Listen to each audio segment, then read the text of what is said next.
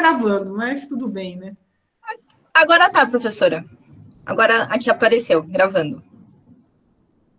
Então tá bom, então vou voltar aqui ao começo. É, novamente, obrigada pela, pela disponibilidade, pela participação. Eu vou passar a palavra para o Paulo, que ele é engenheiro mecânico formado pela UFMG, Universidade Federal de Minas Gerais. Ele tem mestrado em engenharia metalúrgica pela UFMG também. Tem cursos de pós-graduação em marketing pela FGV e a SPM e de gestão pela FDC. Ele trabalhou 35 anos na Peram, nas áreas de produção, metalurgia, pesquisa, marketing e estratégia. E ele, ele coordenou e participou de diversas missões internacionais para a troca de tecnologia nas áreas de pesquisa, produção e estratégia de aços elétricos e aço inoxidável, inoxidáveis nos Estados Unidos, México, França, Alemanha, China, entre outros. E ele atualmente ele exerce o cargo de diretor executivo da Binox, que é a Associação Brasileira de Aços Inoxidáveis. Seja bem-vindo, Paulo. Passo a palavra para você. Bom, primeiramente, muito obrigado. Eu queria agradecer o convite né, para participar desse evento. É, não sabia que era a última palestra, mas eu fico muito honrado, né, porque normalmente os últimos saem ganhando, né? Todos os problemas já passaram, né? Então a gente já pega só as soluções. Eu queria agradecer também aí a professora, né, e vocês que já assistiram aí alguma palestra nossa aí, é, mas eu acho que o, hoje a palestra principal é do Tiago, né, o Tiago hoje, como sempre, nos ajuda e brilha né, nas suas palestras, né, então eu vou é, fazer só a parte inicial. Ô Camila, se tiver, se vocês não estiverem me escutando, alguma coisa, algum problema, só me interromper, tá bom? tudo certo, pode prosseguir. É, eu vou tentar compartilhar aqui com você só a parte inicial, depois eu passo a palavra para o Tiago. É, uma pequena, deixa eu me ver como faz aqui. Uma pequena apresentação. E você me avisa se vocês estiverem vendo é, na hora que eu estiver apresentando.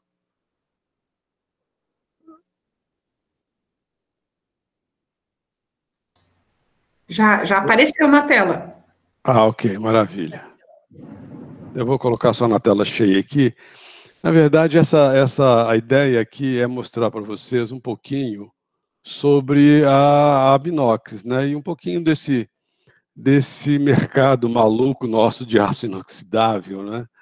É, a Binox, na verdade, ela foi criada, é uma associação brasileira do aço inoxidável, né? Ela foi criada é, no início dos anos 2000. Né? Antigamente existia um grupo de pessoas, de empresas que se reuniam sob o nome de Núcleo Inox, né, que ficou muito conhecido, mas a Binox foi, foi criada para incentivar o desenvolvimento técnico mercadológico do aço inoxidável no Brasil. Né? É, é uma associação composta de empresas e que agora nós estamos também abrindo para pessoas físicas, tá? Mas a partir desse ano, final do ano, início do ano, já está é, pessoas físicas é, fazendo parte também. Fica aí o convite. É, a missão da, da Binox, na verdade, é promover a correta utilização do aço inoxidável e suas aplicações nos diversos segmentos do mercado brasileiro. Né? A gente é, faz isso através de divulgação né, das suas propriedades, das aplicações dos ácidos inoxidáveis, das novidades que acontecem fora do Brasil. Né? Fazemos muito através de capacitação é, é impressionante né, como o brasileiro não conhece esse aço. Né, e nós estamos falando de brasileiros é, de diversos, diversas áreas e diversas idades. É, a maioria do pessoal acredita que aço inoxidável é uma coisa só. E pronto. E, e a nossa missão, então, é capacitar e mostrar não só para as empresas, como também né, para o grande público em geral, o que, que é o aço inox. E a, a nossa outra perna é integrar, né? integrar as empresas que fazem parte da cadeia de valor, o governo, a sociedade em si, né? para que o aço inoxidável possa ser melhor conhecido. Né? Então, essa é a nossa grande missão. E é interessante notar que existem outras associações é, semelhantes no mundo. Né? A Binox está aqui no Brasil mas olha a quantidade de abnoxes, né? se é que assim a gente pode dizer, no mundo inteiro, no México, Estados Unidos, na Europa eu nem coloquei todas, senão embolaria um pouco aqui, né? É, na, no, na, nos países asiáticos, e todas essas associações estão interligadas através do International Stainless Steel Forum, que fica na Bélgica, e a gente troca né, as informações do que está acontecendo em cada local do mundo, em termos de desenvolvimento, novidades, né, é, consumo de inox. Então, é possível saber aqui no Brasil tudo que está acontecendo no mundo do aço inoxidável através do ISSF. E a gente pode passar para vocês, para todos, né, tudo que está acontecendo no mundo. Isso é muito interessante. Aqui é mais para demonstrar é, como é que o Brasil é, consome de aço inoxidável. Eu pus só esse gráfico, só para mostrar é, o, o, consumo de inox per capita. Isso é, isso é por pessoa, por quilo, né, por habitante. Notem que no ano 2010 o Brasil consumia 1,91 quilos de aço inox por habitante. E esse número cresceu lentamente até 2014, chegando próximo a 2 quilos por habitante, o que dava mais ou menos 400 mil toneladas de aço inoxidável consumida no Brasil. Com a crise né, de 2015, esse número caiu para menos de 1,5 quilo por habitante, e nós, nesses últimos cinco anos, tem crescido mais a passos de tartaruga, né, lentamente. Estamos longe ainda de chegar ao que foi aqui 2013, 14, não chegamos nem ainda ao que foi 2011, né? Então tem um caminho longo a percorrer. E a gente pode pensar que isso é muito por causa do Brasil, da economia, né? da robustez do, do país. É, mas quando a gente compara com outros países, por exemplo, se compararmos com a África do Sul e com o México, que são economias muito menores do que a, do que a brasileira, é, a África do Sul consumia em 2014 quase, mais do dobro do, de aço inoxidável por per capita que consumiu o Brasil, 4,9 quilos por habitante, e cresceu para 5,4. O México já consumia 50% a mais que o Brasil e cresceu mais ainda. Hoje está dobro, né, praticamente, do que consome o Brasil. E olha que nós estamos falando em 2019, antes do, da, da pandemia. A China, então, nem se fala, né? É, 8,8 quilos por habitante, 1 bilhão e meio de habitantes, aí vocês fazem a conta, e, e aumentando para 15 quilos por habitante em 2019, é fácil fazer a conta e chegar a números muito grandes de consumo de inox. O Brasil não consome isso tudo e crescimento muito lento. E a gente se pergunta por quê? E a grande resposta não é a robustez da, da, economia, não é o crescimento do PIB, e sim a falta de conhecimento sobre o aço inoxidável. Né? Como falei, a maioria do pessoal pensa que aço inox é um só. E a partir da hora que compra e tem algum problema, é, passa a pensar que o inox não é aquilo tudo que ele pensava. E, e a maioria do pessoal pensa também no curto prazo. Vou comprar uma coisa mais barata hoje, e o ano que vem, ou daqui a dois anos, eu substituo. Enquanto que o inox é para a vida inteira. Você faz um investimento maior agora e não tem o gasto posterior. Mas é um pensamento ainda nosso, brasileiro, pelo fato de não conhecer os benefícios do aço inox, é, não consomem. Então, compete a todos nós mostrar esses benefícios. Né? E a Abinox tem essa grande missão de elevar esse número de, de, de consumo brasileiro, né, para números pelo menos próximos ao do México, no mínimo, né? Muito bem. As formas de atuação nossa, então, eu falei anteriormente, é divulgar, promoção, divulgação através de sites informativos, notícias, mídias sociais, né, estatísticas, capacitação, né, capacitação nossa é um ponto forte, com cursos presenciais, cursos online, palestras, seminários, né, e também com muita assessoria e consultoria técnica. É interessante ver tem muita gente, mesmo pessoas simples, donas de casa, que ligam perguntando como fazer para poder resolver um problema de arranhão na porta da geladeira, ou então corrosão em alguma parte de algum eletrodoméstico. Até isso tem muita consultoria também para a empresa que não sabe comprar o aço inoxidável e acaba comprando um produto que não é aquele que ele precisava e recorre a gente para uh, ajuda, né? A integração da cadeia produtiva através de fóruns, né, para poder unir essa cadeia, representação junto a órgãos de governo, normas, legislação, e também através de parcerias com associações de classe no Brasil e no mundo, e também, por que não dizer, com universidades. A gente tem parceria com algumas universidades né, para apoiar o desenvolvimento do conhecimento nessas universidades sobre o inox. Aqui, por exemplo, só como um exemplo né, de cursos de treinamentos, cursos presenciais e online, e também módulos de treinamento, esses presenciais e online, normalmente com, é, com o professor, com a ajuda de um professor. Por isso que são curso de três a quatro horas, pelo menos, curso de curta, curta duração, com professores especializados, com certificado de participação, né? Os módulos de treinamento, não, já estão disponíveis no site, é só baixar, fazer o download desses módulos, e o aluno e o professor vão estudar com guias já pré-estabelecidos aqui, e o professor vai ter também material já em PowerPoint, caso queira é, ministrar aulas para os seus alunos. E todos, isso, todos esses cursos aqui, nós fazemos parcerias tá, com associações e com faculdades e universidades para que a gente possa ministrar esses cursos nas universidades. Aqui, só exemplos de seminários e workshops. Essa aqui, por exemplo, uma parceria com a Universidade Federal de Minas Gerais, na área de arquitetura, né? E são dados cursos nessa área de arquitetura e design, e a gente faz seminários lá voltado para arquitetura e design, com uh, showroom de alunos, né, com coquetel, esse tipo de coisa. Isso aqui é uma parceria feita, por exemplo, com a Associação Brasileira da Indústria de Máquinas, que é, foram workshops feitos em diversas cidades onde se consome inox na refrigeração e alimentos. Também estamos abertos para esse tipo de parceria.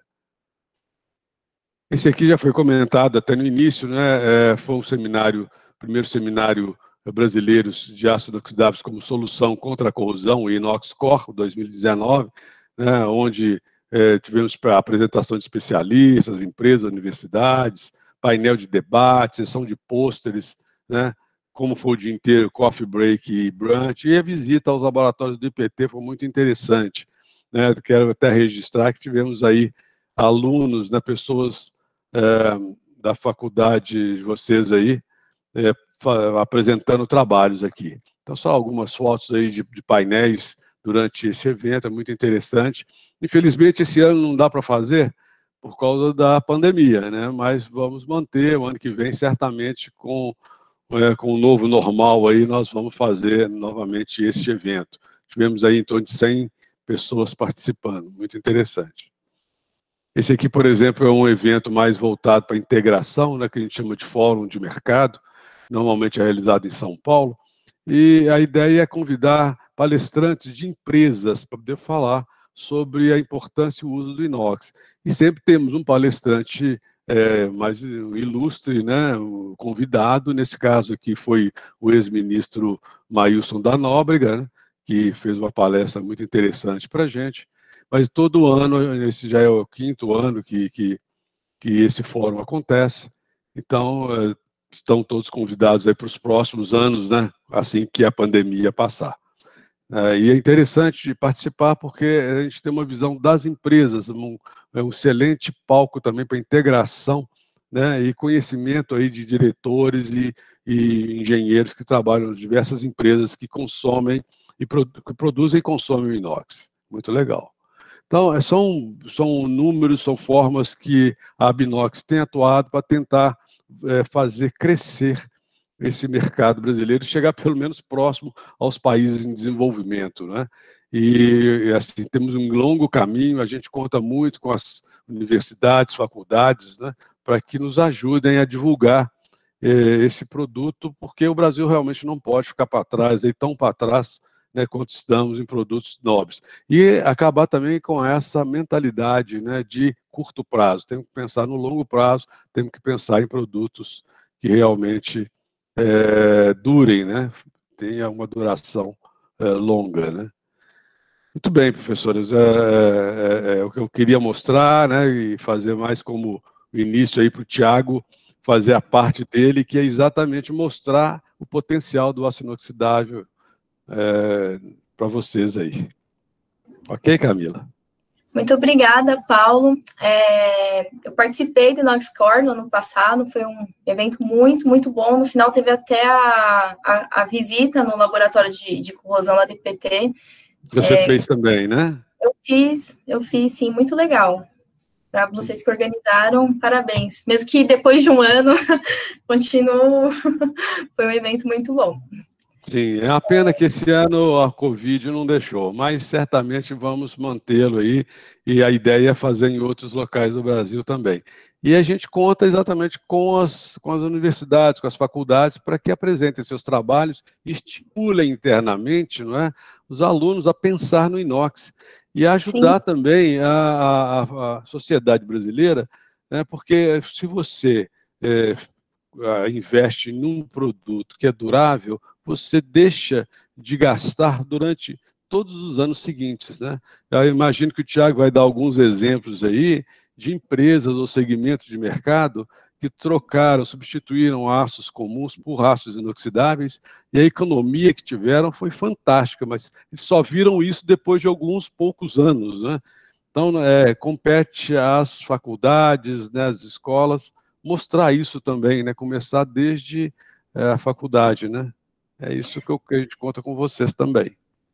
A gente tem um trabalho de, de conclusão de curso com umas chapas cedidas pelo, pelo Tiago, uhum. só que eu acredito que eles estão trabalhando com solda, é, assim, é, inoxidável austenítico, mas a gente tem desenvolvido, sim, alguma coisinha de, de aço inoxidável na, na, aqui na fundação, e eu na UFBC com ferrítico, laminação de muito ferrítico.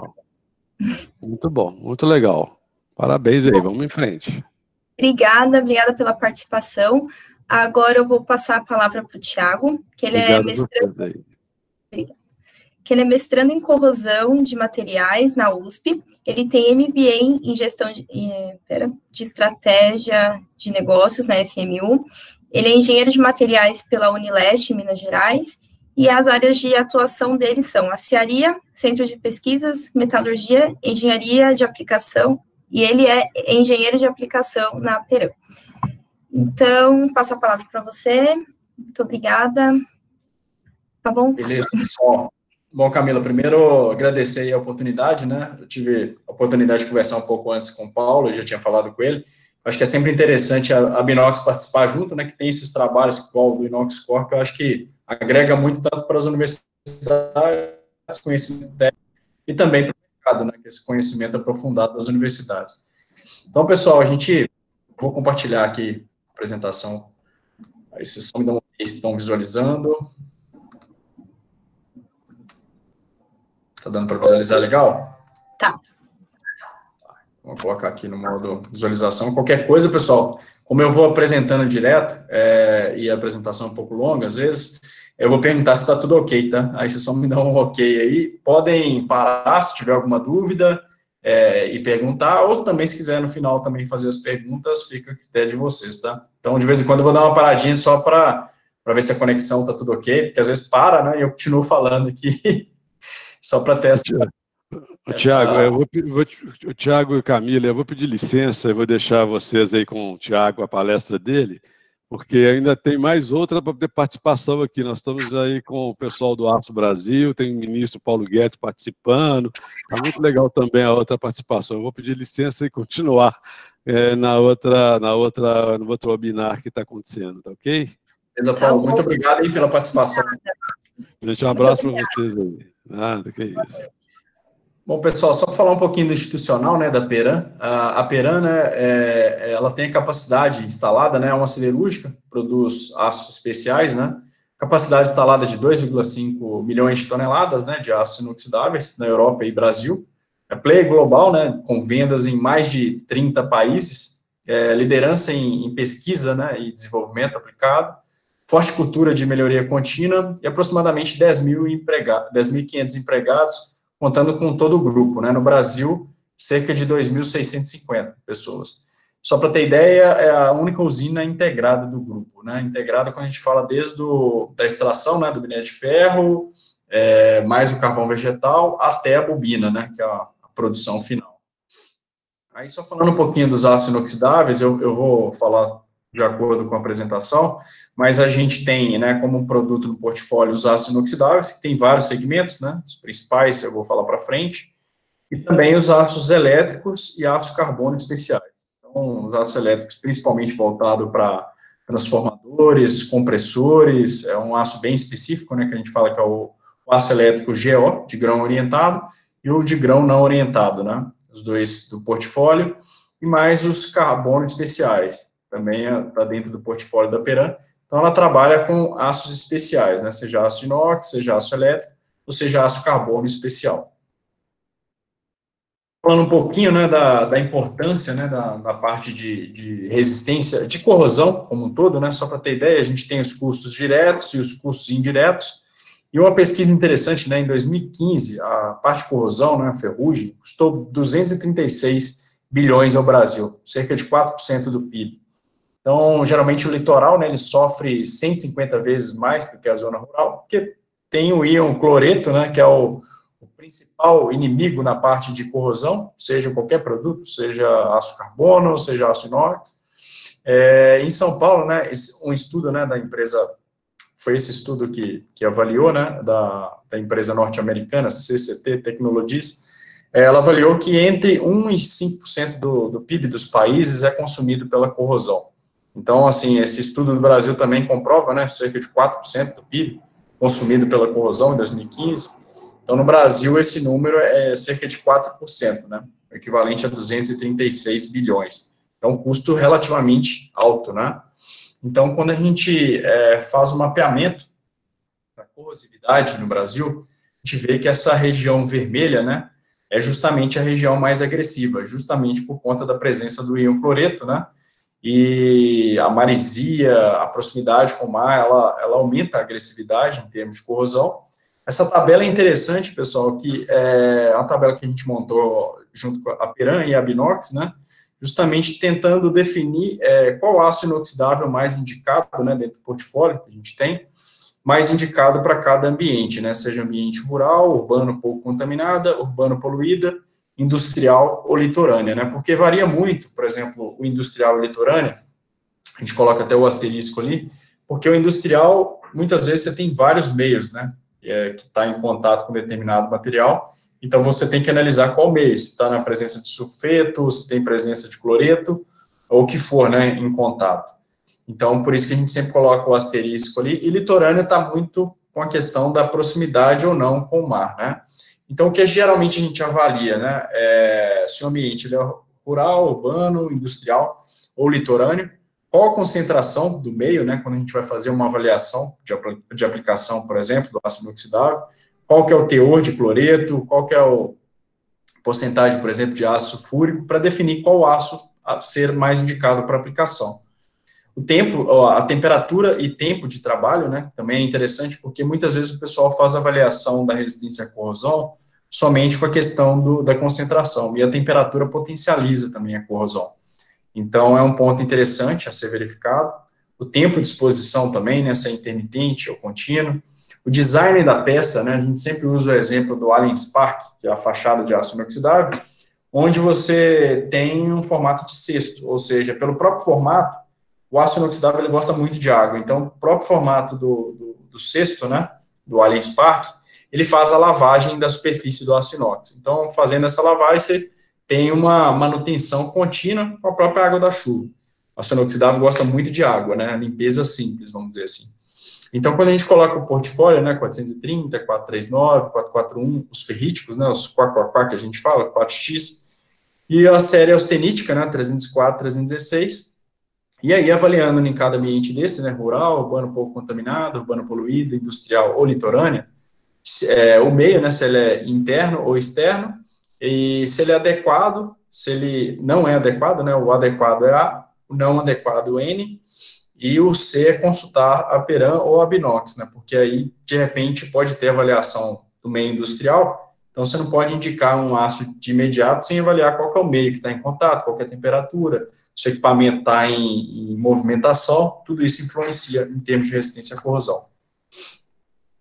Então, a ideia do, do treinamento como um todo, né, é, é fornecer né, subsídios e informações aos profissionais da área técnica, né, comercial. Então, o treinamento técnico comercial, né, que é legal, falando sobre fluxo e fabricação do aço inoxidável, dando um pouco das noções gerais, falando um pouco dos segmentos, as principais famílias, as propriedades, as principais aplicações, parte de corrosão, que é importante também, né, os acabamentos superficiais, e a parte de manuseio e limpeza, que é importante para o aço inoxidável.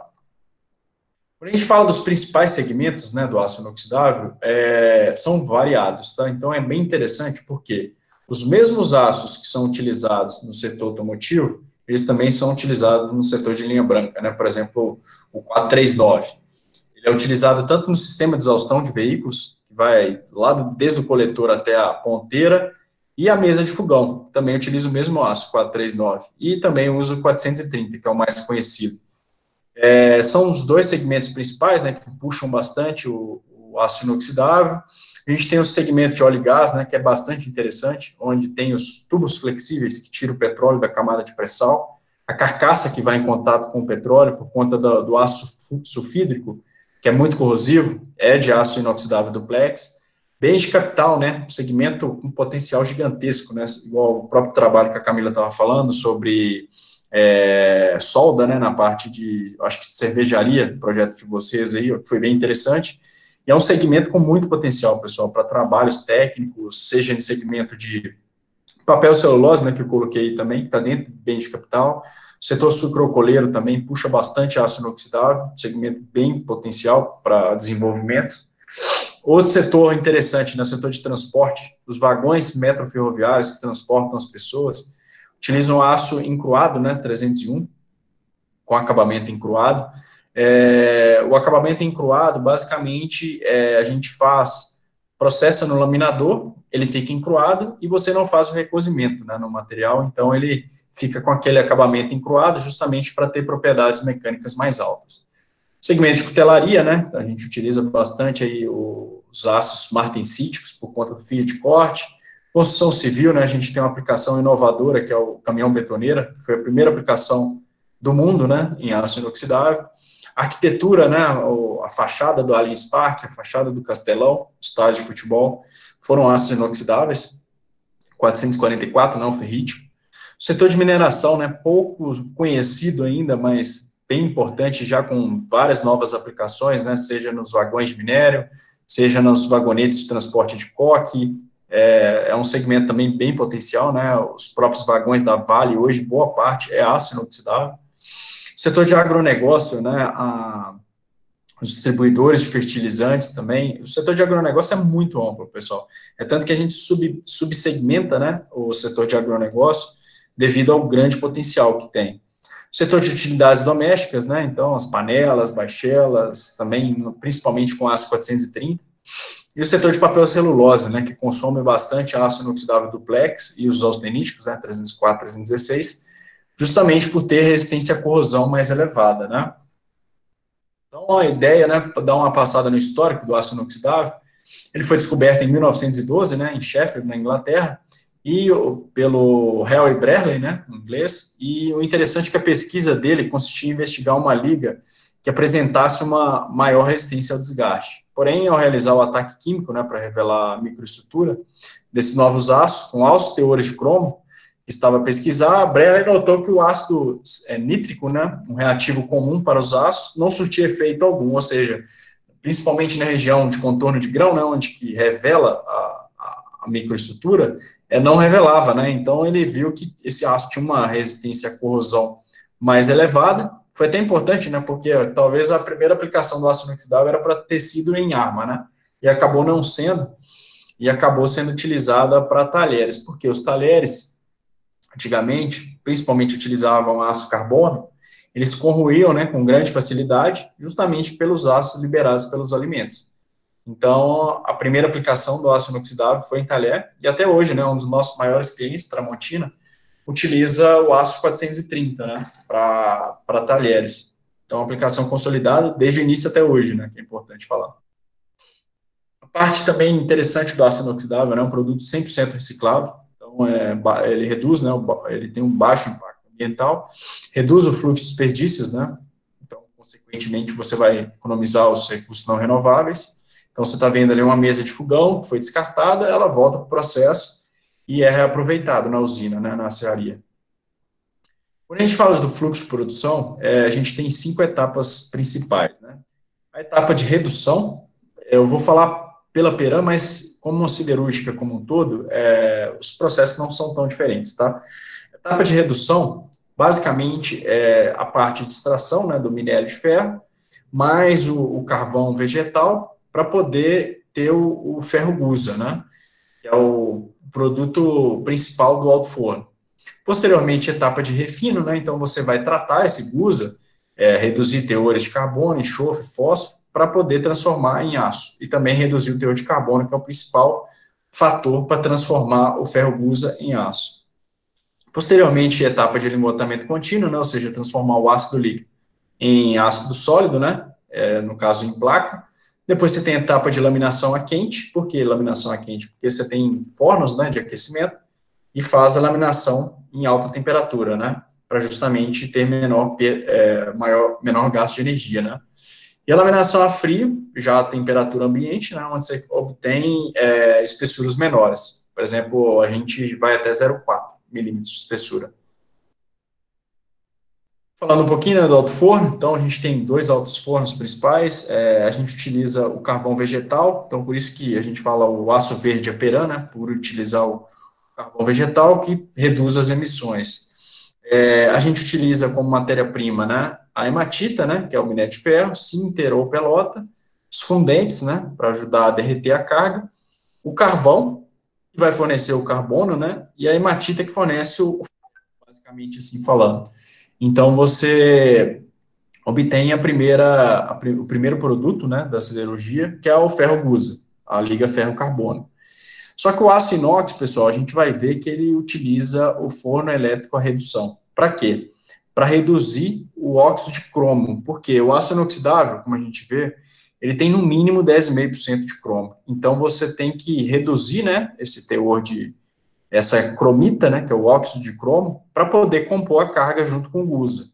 Então você tem que ter lá no mínimo 10,5% de cromo, você tem que ter um teor de cromo mais elevado.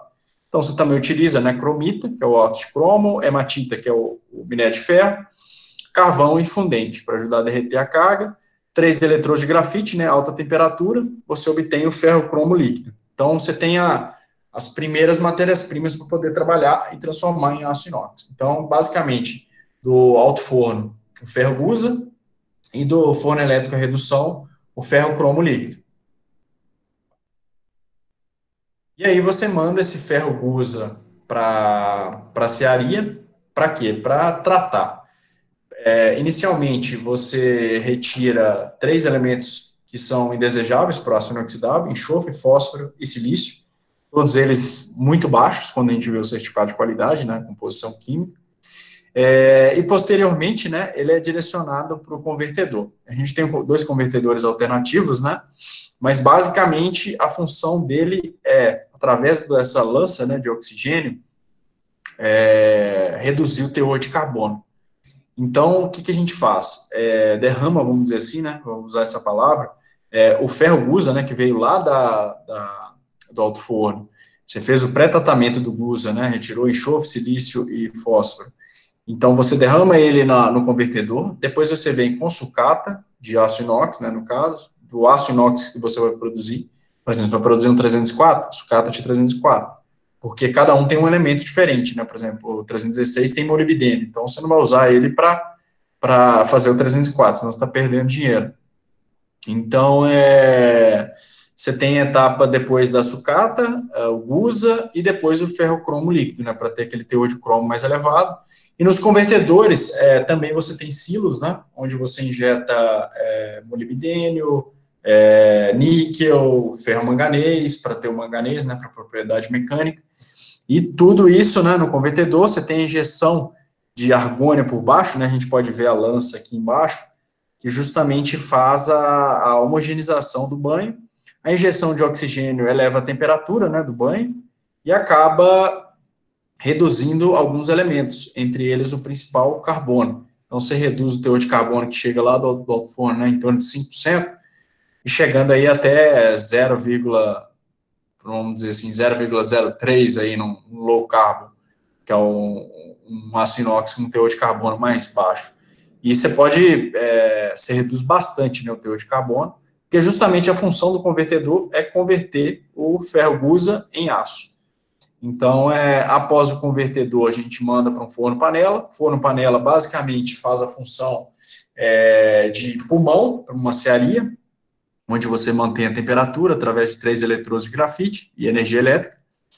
Depois você tem os VODs, né, que é um desgaseificador oxigênio a vácuo. A gente pode ver que é uma, é uma, é uma perfuração, vamos dizer assim, no chão, onde você coloca a panela, né, de 90 toneladas, uma panela é, muito grande, né, no processo, e você faz o vácuo, né, para justamente dissolver os gases é, e injeta oxigênio, né, para justamente reduzir ainda mais o teor de carbono. Aqui, por exemplo, a gente consegue fazer os aços 304L, 306L, para justamente reduzir ainda mais o teor de carbono, chegando até 0,03, por exemplo, no, que é o low carbon, né, que a gente fala. E depois a etapa de linguatamento contínuo, que basicamente é linguatar o aço, né, é, você derrama a panela dentro de um distribuidor que vaza dentro de um, de um molde, né, esse molde já está na largura da placa, espessura também, espessura muda pouco, é 200 milímetros em média para inox, elétricos e carbono, e a largura já é de acordo com o pedido da bobina, né? Então, já pensando na bobina, mas ainda o produto é a placa, né? Então, sai a placa da cearia e vai direcionada para a LTQ.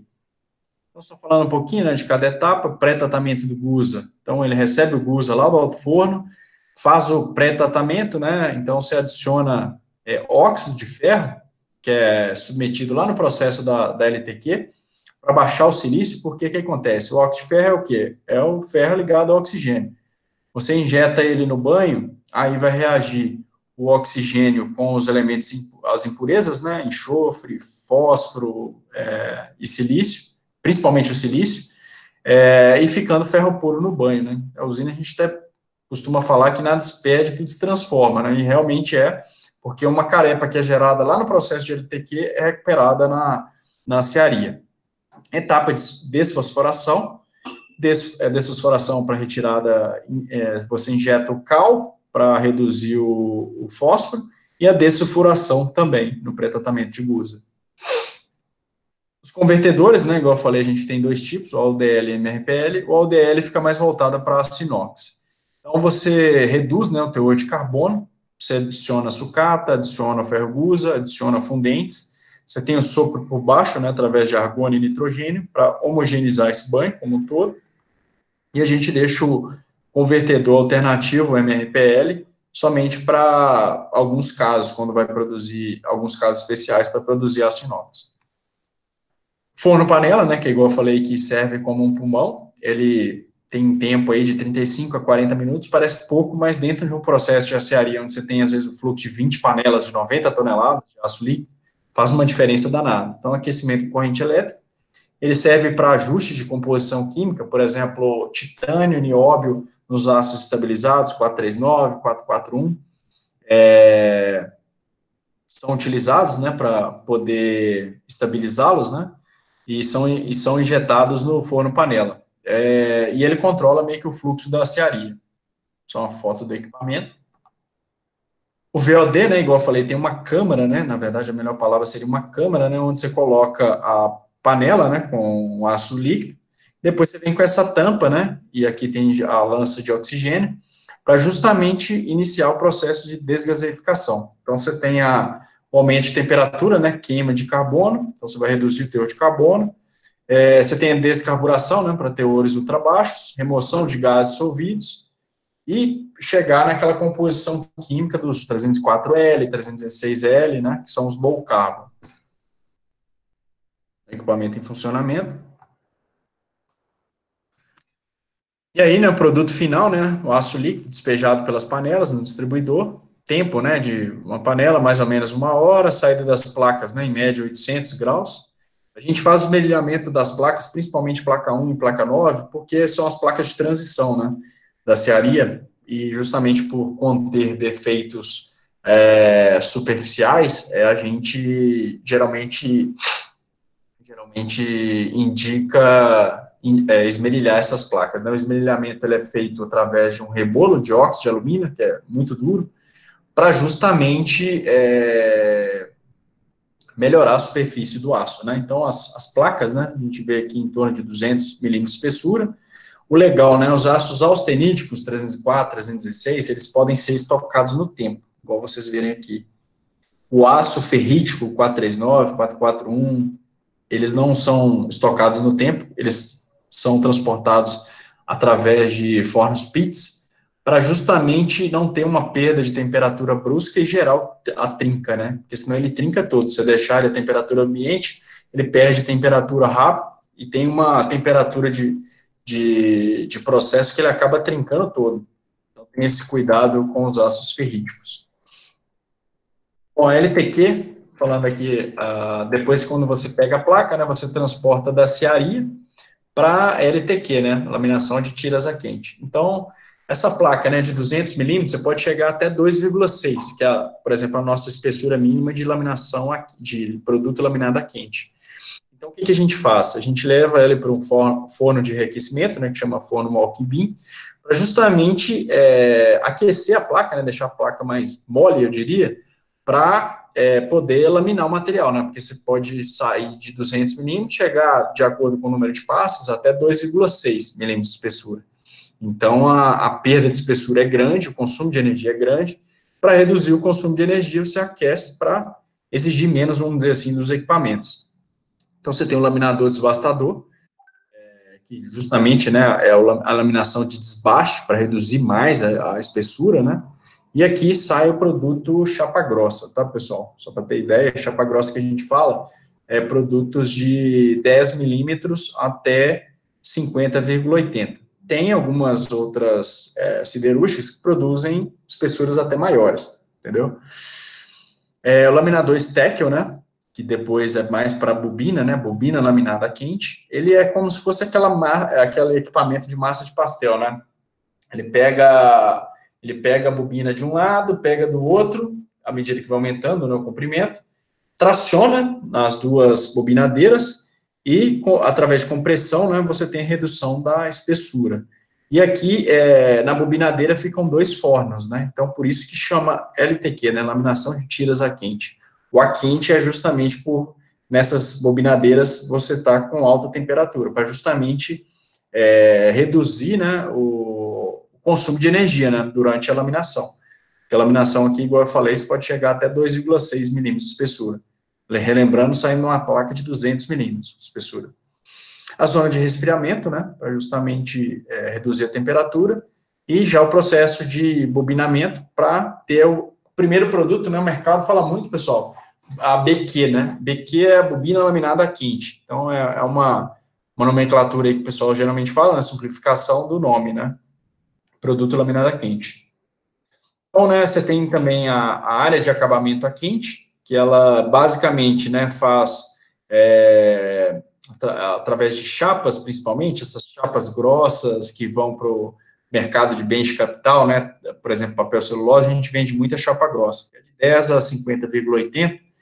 É, essa chapa grossa, a gente leva ela no forno de tratamento térmico, né, como laminou o material na LTQ, ele está encruado, então você leva ele no forno de tratamento térmico para recuperar a microestrutura, e depois você vai, como recuperou microestrutura, oxidou a superfície, você tem que, igual está aqui, né, dá para ver que está meio oxidado, né, com essa superfície escura, isso aqui quando sai o inox, né, você tem que decapar, para com banho de aço sulfúrico, principalmente, e depois HNO3, para recuperar a camada passiva, que a gente vai falar mais para frente, e aqui a, a linha de acabamento, né, que é tesoura transversal, tesoura longitudinal, os primeiros produtos né, da linha de acabamento a quente é a CG, né, que é a chapa grossa, a CQ, né, que é a chapa laminada a quente, e os blanks, né? Blank é sempre comprimento e ou largura menor que mil, ok? A laminação a frio, interessante que é o seguinte, é, a laminação a quente, ela ainda, pelo menos na Peran, ela ocupa uma, uma parte ainda na, na laminação a frio é justamente na etapa de RB3, né, que a gente fala que é a linha de recozimento de bobinas. Por quê? Como você laminou a, a BQ, né, é, aqui processa até 8 milímetros, tá, pessoal? Só para ter ideia. Como você laminou a BQ, ela está encruada, né? Então, se aplicar ela diretamente, você vai ter vários problemas, porque a propriedade mecânica está mais alta. Então você desbobina ela, né? Entra num forno de recozimento para aquecer, né? Deixar o material, vamos dizer, é, com a microestrutura recuperada. Recuperou a microestrutura, você aqueceu demais, né? no recozimento. Você tem a superfície de óxido. Então você tem que tirar essa camada de óxido através de jato de granalha, é, que são várias esferas que batem sobre a superfície para quebrar essa camada de óxido. Depois a decapagem através de ácido, né? principalmente banho de ácido sulfúrico, depois o HNO3, para recuperar a camada passiva, e aqui você tem o produto BQ, né, que é a bobina laminada quente, vamos dizer assim, apesar de ocupar uma parte na laminação a frio. Depois as linhas de PBs, né, para justamente é, a para de borda, divisão de bobina, mais a parte mecânica, né, vamos dizer assim, do processo. Essa, aí você tem a, a, a bobina laminada quente. É, e depois, pessoal, para ter o produto, né, vamos dizer assim, laminado a frio, é, basicamente é pegar essa BQ, né, bobina laminada quente, e levar nos LBs, né, que a gente tem LB1, LB2, LB2, LB, LB2 LB3 e LB4. Para redução da espessura, né, então, é, a temperatura ambiente, igual eu falei, a laminação é a temperatura ambiente, e você faz a laminação do material. A gente vê que os dois cilindros de encosto de, da laminação a, a quente, é, a gente pode ver aqui, são só dois cilindros, é, só tem um cilindro de encosto, né? Na laminação a frio já tem vários.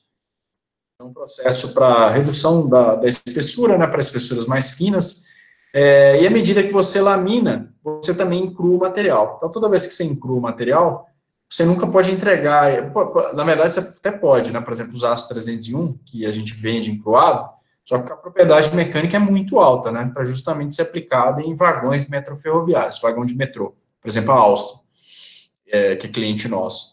É, você até pode vender no estado encruado, mas comumente no mercado você vende ele no estado recozido, né? Então você acaba de laminar a espessura que você quer, você vai e faz o processo final de recozimento que é a mesma etapa de cima, né? Então, só que com o produto mais fino.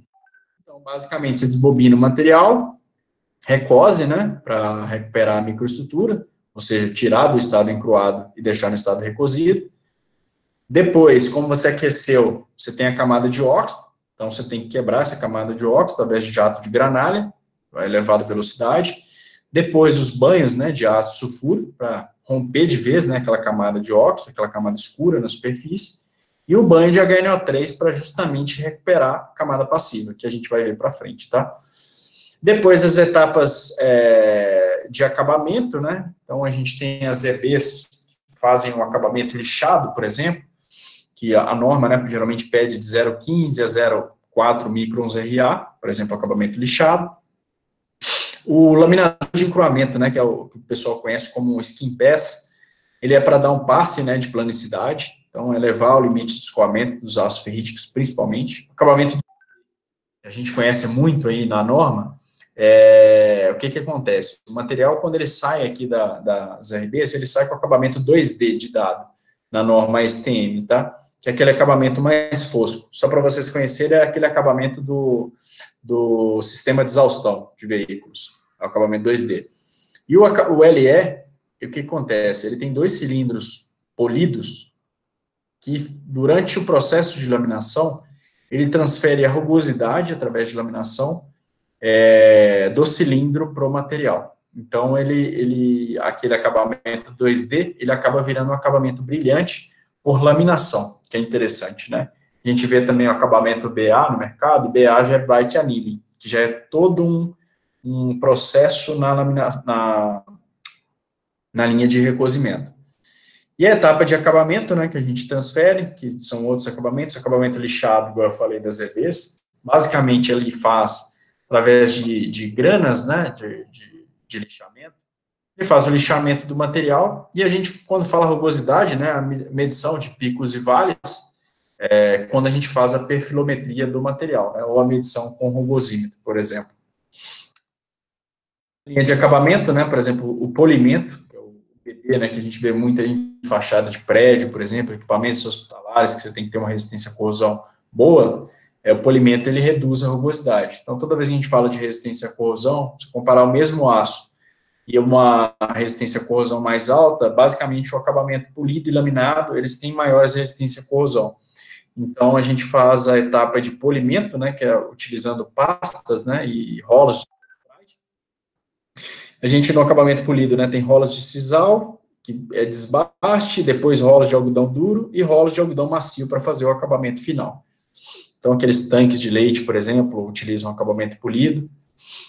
Aqui é só o fluxo final, né, de acabamento. Então, a gente tem a P2, que é a linha de, de polimento, é o número 7 da norma.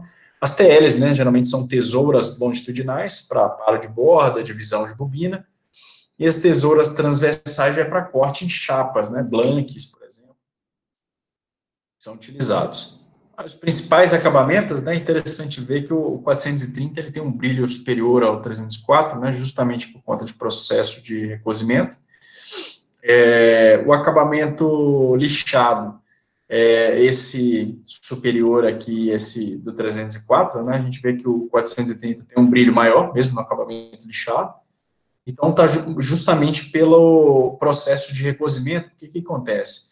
Os aços 304, pelo fato de ter cromo mais elevado, para decapar é mais difícil, então você tem que usar um banho mais agressivo.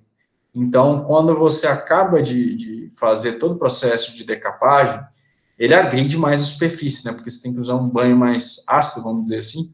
Então você fica com aquele acabamento leitoso, né? Então o 2B do 304, ele é bem mais claro, né? Quando a gente compara com 2B do 430. É, aqui os acabamentos, né? 304 lixado, 304 2B, 430 lixado, 430 brilhante. Os acabamentos, quando a gente fala da norma, né, número zero, né, laminado a quente, recozido sem decapagem, então é, ele, é, ele não tem a decapagem, ele tem a superfície escura, ele não é muito conhecido no mercado, né, a gente vende muita BQ preta, por exemplo, para a China, onde eles fazem decapagem depois e laminam. O número um, né, que é o conhecido aí no mercado de bens de capital, laminado a quente, recozido e decapado. Então, aqueles acabamentos de tanques de suco, por exemplo, tanques de, é, de equipamentos de sucrocoleiro, por exemplo. É, o acabamento 2D, ele já é laminado a frio, recozido e decapado, né, o acabamento do sistema de exaustão de veículos, só para conhecimento. O acabamento 2B é um dos mais conhecidos, um dos mais utilizados, né, laminado a frio, recozido e decapado, processado via skin pass, né, que é aquele laminador que eu falei que transmite a rugosidade do cilindro para o material. O acabamento TR, né, extra duro, ele é laminado a frio, sem recozimento e decapagem final, obtenção de propriedades mecânicas particulares, né, então são os vagões metroferroviários lá que eu falei. Número 4, né, que é o acabamento, por exemplo, é o lixado, ele é laminado, a gente fala lixado, escovado, é o mesmo acabamento. Laminado a frio, recozido e decapado, e lixado final em uma face, né, para rugosidade máxima de 0,4 microns RA, com posterior passe de planicidade no skin pass. Então, é aquele acabamento de elevadores é o número 4 da norma. O número 6, né, o Satan Finch, laminado a frio, recozido e decapado, com passe no laminador de encroamento e com lixamento acetinado. Para rugosidade 0,06 a 0,20 micros RA. Número 7, né, Buffing Bright, laminado a frio, recozido, decapado, processado via skin pass, laminador de encroamento, é, e com polimento final. Então, acabamento polido, né? O Satan Finish, pessoal, só relembrando, é o acabamento da porta de geladeira, né? Quando é inox, tá? Que eu vou explicar mais para frente, porque hoje tem alguns produtos que imitam inox. O Buffin Bright, né, o acabamento polido. Então, quando a gente fala essa, essas nomenclaturas aqui, pessoal, é os acabamentos de norma, tá? STM. Tá dando para escutar aí, Camila, direitinho? Só para visualizar com vocês aqui, se estiver tudo ok. Tudo certo. Ah, beleza, beleza. Então, vou dar continuidade aqui. Vou perguntando também. Se quiser fazer pergunta, tá, pessoal? Pode parar aí, fiquem, fiquem à vontade, tá?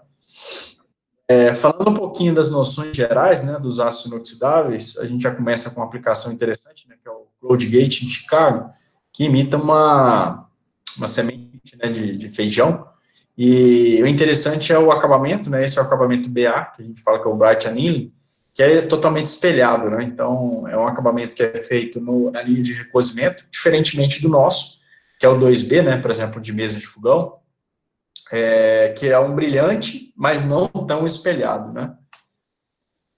Bom, quando a gente fala de aço, aço como um todo, né? É, a gente obtém o minério, né? pra, e tem o consumo de energia para transformar em metal. Só que, né, a reação espontânea de todos os metais, né, seja aço carbono, seja aço inox, é, ao longo do tempo, ele reagir com oxigênio, né, e voltar a ser um minério de ferro, né? No final das contas, seja a durabilidade que for, a tendência é de todo tipo de material fazer esse processo. Só que né, a gente tem algumas alternativas contra oxidação e corrosão. No caso do aço carbono, né, a gente tem alguns processos né, de pintura, revestimento de superfície, galvanização, por exemplo, para proteger a superfície. No aço inox, já é mais relacionado a a desenvolvimento de ligas especiais, né? E qual que é a diferença, né, do aço inox para o aço carbono? O aço carbono, né, o aço comum, basicamente é uma liga de ferro mais carbono, né? É, o aço inox é uma liga de ferro também e carbono, né? Com adição de cromo, né, no mínimo 10,5%. Para ser aço inoxidável, igual eu falei, por isso que a gente usa o ferro cromo líquido lá no processo, é, você o aço inoxidável basicamente é uma liga com teor mínimo de 10,5%. Então tem que ter 10,5% no mínimo para ser aço inoxidável. Abaixo disso é aço carbono comum, ok? Bom, só comparando aqui algumas amostras né, de aço elétrico que a gente produz, que é para transformador, aço carbono, que é o aço comum, o aço inox. Todos eles reagem com oxigênio, normalmente, formando camada de óxido. A diferença é o tipo de óxido. Né? No aço elétrico e aço carbono, em dentro de algumas horas, né, o aço elétrico ele já está com a coloração toda avermelhada. E o aço carbono, após alguns dias, né, ou dependendo do carbono também algumas horas, você já tem a superfície é, avermelhada, né, o típico lá, por exemplo, patinável, você vê aquela camada de óxido, aquela camada vermelha, que basicamente é a ferrugem, né, que a gente conhece. E o aço inox, não. Por quê? O aço inox, né, por ter os 10,5% de cromo que reage com oxigênio, ele forma a famosa camada passiva, que é uma camada extremamente fina e aderente e protege a superfície do aço inox, ou seja, protege a composição química do material frente ao ambiente, que é agressivo, né, na maioria dos casos. É, comparando né, o aço carbono comum com o aço inox, o aço carbono, né, você, quando ele reage com oxigênio, você forma a camada de ferrugem, que é extremamente porosa e abrasiva, e você, que é o, o F2O3, né, que é a, a camada de óxido, o que, você utiliza como proteção é revestimento, né, pintura, galvanização, são processos adicionais. No aço inox, não, porque o aço inox, o cromo, né, reagindo com oxigênio, ele forma o CR2O3, que é a camada de óxido, camada passiva, e ela é extremamente fina e aderente, né, que faz a proteção do aço inox proteção do, do, da composição química frente ao ambiente. As características da camada passiva, né? Ela é muito, muito estável e aderente, extremamente fina, né? De 30 a 50 angstroms, invisível ao olho nu, autorregenerável em meio oxidante e necessita de cuidados especiais para permanecer inalterada. Esse atributo aqui é, é, interessante, né, do aço inox, a professora Zepi lá no, do IPT até explicou bem, né, que eu achei bem interessante, é, dois pias né, de, de, concreto, em estruturas em barras de aço inox, comprimento de 2 km, e o ano, né, 1941, outro 28 anos depois, né, pia de concreto em estruturas em barras de aço carbono, totalmente corroído, né, o que, que explica isso? É, é, a resistência à corrosão do aço inoxidável, né, porque o primeiro pia, né, que era gigantesco, bem maior, eles fizeram com as barras de aço inox, né, que aumentou a durabilidade do pier. E depois tinha um pier menorzinho, né, que eu acho que era para barcos menores, eles resolveram fazer de aço carbono. Hoje você vê a foto, a fotografia de cima, né, que a professora ZP até mostrou, totalmente corroído, né, em aço carbono. Então, quando a gente compara aço carbono com aço inox, basicamente a diferença é a resistência à corrosão. As principais famílias e aplicações, né, que é interessante, é, a gente tem as principais divisões, né, os aços martensíticos, ferríticos, né? Os austeníticos séries 300, que são os 304, como só voltando, né? Martensítico, 420, 498, 440, que é conhecido. Os ferríticos, 430, 439, 441, 444. Austeníticos, né? Os mais conhecidos, 304, 316, 310. Austenítico baixo níquel, né? 201, 202. E o que diferencia, né? Basicamente, É, os martensíticos, eles têm teores de carbono mais alto, para justamente o processo de têmpera, posteriormente. Os ferríticos, eles não têm o níquel na composição química, então eles são relativamente mais baratos em relação aos austeníticos. Os austeníticos, o CL300, é, além do, do cromo, ele tem o níquel na composição química, então é mais caro, mas tem algumas características adicionais, como resistência à corrosão mais alta, principalmente a corrosão generalizada, que o níquel afeta, é, propriedades mecânicas melhores, né, por conta do níquel também, maleabilidade do aço, né, tenacidade também está atrelada ao níquel, o aço baixo níquel na série 200, que vem muito da China, né, crescendo principalmente por conta da China, basicamente ele substitui o níquel por manganês e nitrogênio, ou seja, você perde em resistência à corrosão e ganha em propriedade mecânica. As microestruturas, né, ferrítica aí é um 430, por exemplo, austenítica são grãos maiores, né, um 304, duplex, Interessante o duplex que ele une as melhores características das duas famílias, né, a alferrítica e a austenítica, então você tem um aço com alta resistência mecânica e alta resistência à corrosão. Os aços martensíticos, né, justamente por conta do processo de tímpera, você tem aqueles grãos afinados, né, e tem uma propriedade mecânica também elevada.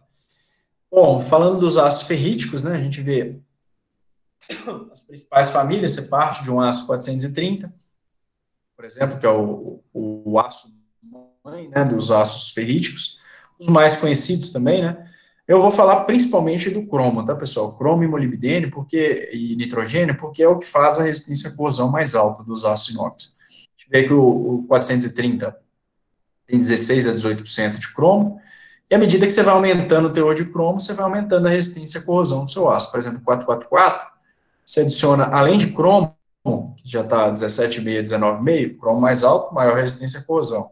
Você tem molibdênio, molibdênio de 1,75 a 2,5, então você reforça a camada passiva, né? Melhora ainda mais a resistência à corrosão. Por exemplo, 444 foi aplicado na fachada do Allianz Parque lá no Castelão, lá em Fortaleza, que é um ambiente mais agressivo em termos de corrosão. 409, a gente vê que está no mínimo aqui, né, de 10,5 a 11,75 de cromo. 409, muito utilizado é, na parte fria dos veículos, né, do catalisador até a ponteira. 410, muito utilizado aí para ambientes úmidos e abrasivos, é, de 10,5% a 12,5%, ok? 439, né, de 17% a 19% de cromo o 441 aumentando um pouco mais de cromo, né, de 17,5 a 18,5, e além disso ele tem estabilização titânio e nióbio, né, tanto o 439, o 441, 444 também, depois eu vou falar o que, que a estabilização reflete no aço. Então as características, né, dos aços ferríticos, basicamente baixa expansão térmica, né, eles se expandem menos que os austeníticos quando aquecidos, eles são magnéticos, né, possuem excelente resistência à oxidação em eles são menos susceptíveis à descamação que os austeníticos. Eles possuem alta condutividade térmica, né, conduz calor de forma mais uniforme que os austeníticos. São mais fáceis de serem cortados e trabalhados, né, menos susceptíveis à recuperação elástica durante conformação a frio.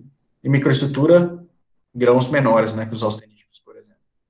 Então, igual eu falei, né, regrinha, basicamente, quando você compara, é, você aumentando o teor de cromo, aumenta a resistência à corrosão, e adicionando outros elementos, né, como o molibdênio, melhora ainda mais a resistência à corrosão dos ácidos inoxidáveis, seja ferrítico, austenítico ou martensítico. E elementos como titânio e nióbio, que são estabilizadores. Né? O que acontece com a estabilização? É, quando você aquece durante o processo de soldagem, os aços é, inoxidáveis, principalmente os ferríticos, eles têm tendência de crescimento de grão e, além disso, é, a tendência de precipitação de carboneto de cromo no contorno de grão.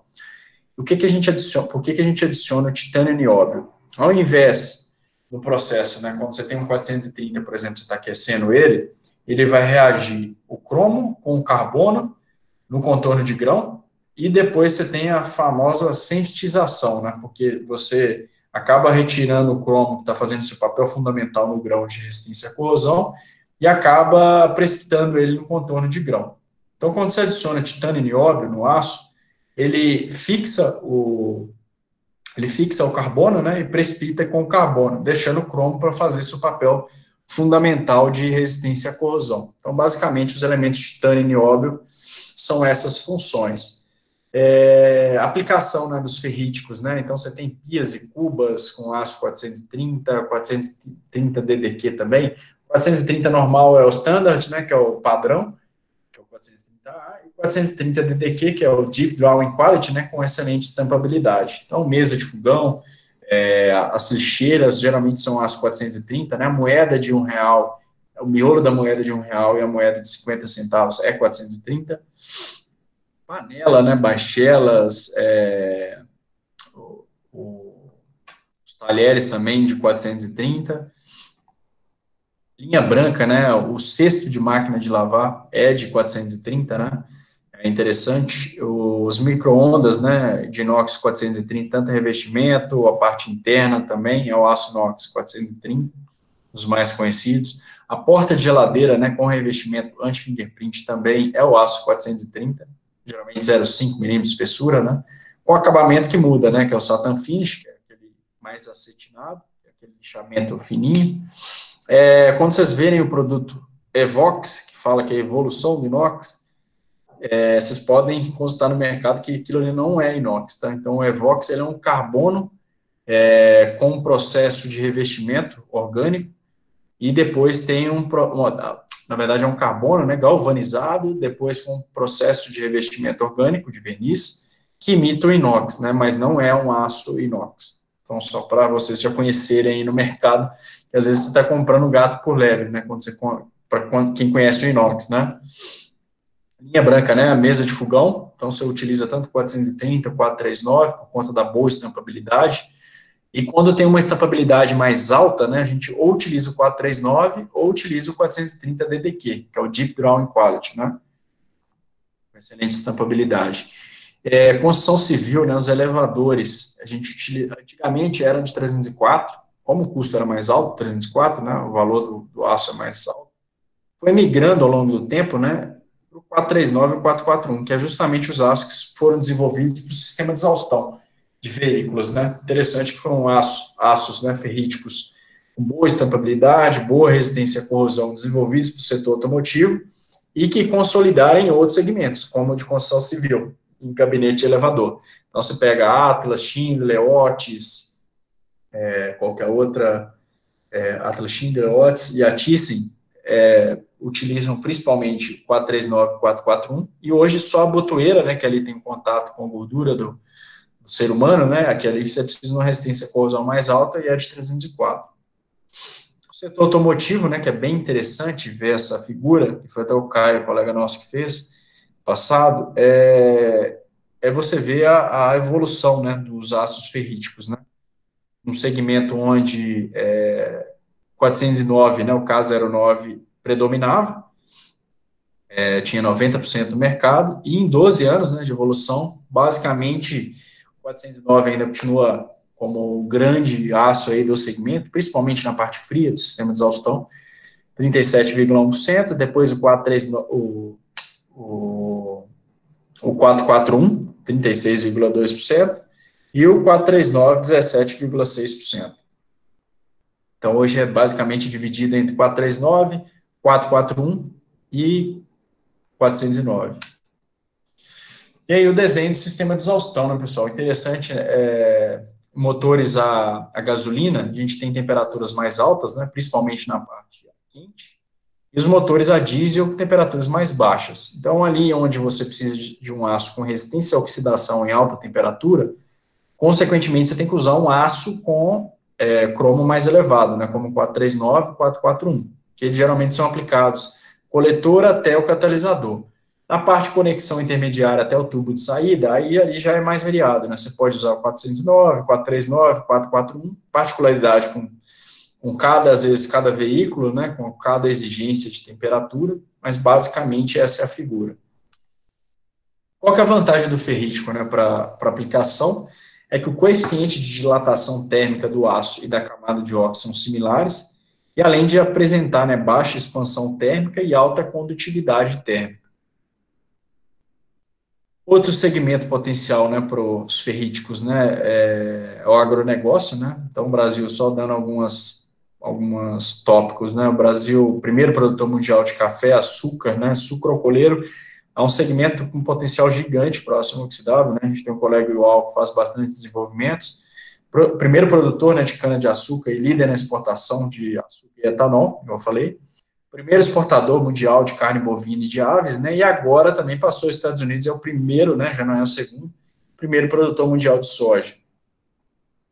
Setor sucrocoleiro, só resgatar uma historinha no passado, é, a gente via aqueles pontinhos pretos né, no açúcar, basicamente, durante o processo, que é extremamente úmido e abrasivo, por conta da cana, no processo de transporte, ela levava os óxidos, né, do, do principalmente do ácido carbono, que oxidava a superfície, levava esses óxidos para o açúcar, que era aqueles pontinhos pretos. Né? Hoje já não tem, justamente pela grande massa do 410, que consolidou nesse segmento, tem um potencial gigantesco ainda para novas aplicações. O 410 ele tem uma resistência o 410 é um aço coringa da Peran hoje, porque ele desenvolve muitas aplicações. E basicamente, quando você tem o conceito de umidade e abrasão. Então, você tem um conceito de umidade e abrasão, 410 é melhor do que qualquer aço carbono. Por exemplo, você pega um aço carbono tradicional A36, onde você começa com 9,5 milímetros de espessura, após duas safras, 5,5. Então, uma redução de 4 milímetros de espessura. Então, você tem perda de espessura, arranhões superficiais. E o 410, né, original 6,35, pós duas safras, 5,98, né, então redução de 0,37 milímetros de espessura, né, então menor manutenção, maior resistência à abrasão.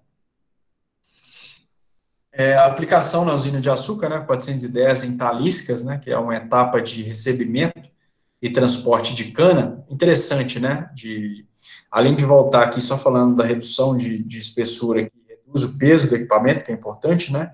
E a resistência à abrasão também, né? Então você vê a superfície do aço inox praticamente intacta. É, e essa talisca, o interessante é que é, nas, na, no transporte da cana, né, sofria pelo abilongamento, né, que é a, é a abertura, né, da, da região onde você coloca o parafuso e a arruela, justamente por conta do óxido do carbono ser mais né, e é o contato entre a arruela ia gerando aquela, o aumento do diâmetro do furo, até ter a, a, a perda do parafuso, e aí vai soltando, né, porque é tudo montado, aí você tem perda para manutenção, parada de redução, né, de produtividade, e a gente tem testado o 410. Então, toda vez que você pensar o fenômeno é, desgaste em meio úmido, o 410 ele bate qualquer aço carbono. Pode ser o melhor dos aços carbono. Outra aplicação interessante que a gente tem trabalhado para redução de espessura, né, de projetos, com 410 é, em vagão forrageiro, né, que é para alimentação animal. A parte de distribuição de fertilizantes, né, e adubos, utilizando aço inox 304, porque fertilizante geralmente tem composição química mais agressiva. Então, geralmente a gente é, utiliza o 304, né, você tem Stara, Junk, são grandes clientes da Peran, utilizam o 304, principalmente. 304L. Tá dando para escutar legal aí, Camila? Só para só confirmar aqui como eu estou apresentando direto. Tá tudo bem, estou escutando. Ah, beleza.